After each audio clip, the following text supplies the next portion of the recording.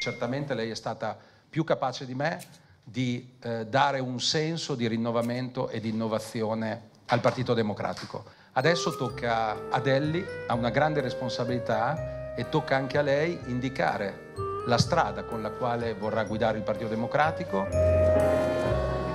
E adesso Incassata la botta della sconfitta, nel campo di Stefano Bonaccini si discute sul da farsi.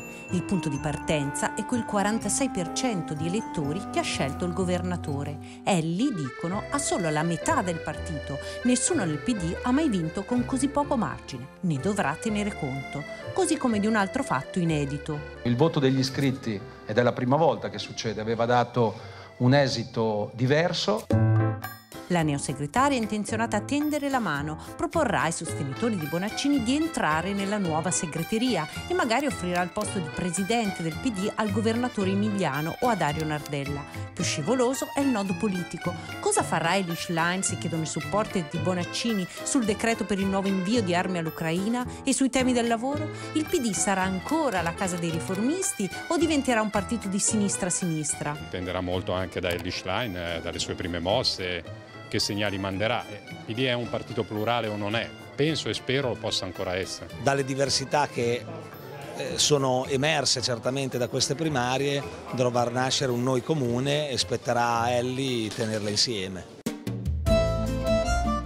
Il rischio scissione per ora è congelato, anche se un addio c'è già stato, quello di Beppe Fioroni, cattolico popolare tra i fondatori del PD. Ai livelli alti non dovrebbero seguirlo, ma nei territori il malumore è altissimo e non si escludono emorragie. Il timore è che i mondi esterni decisivi nella vittoria di Schlein cambino la natura del PD e a quel punto, dicono, non sarebbe più la nostra casa. Lo ha fatto capire Giorgio Gori, mentre Renzi e Calenda non aspettano altro che raccogliere i voti dei delusi. Il banco di prova su cui Elli verrà misurata però sono le europee del 2024. Se il PD andrà bene non avrà problemi, se no tutto tornerà in discussione.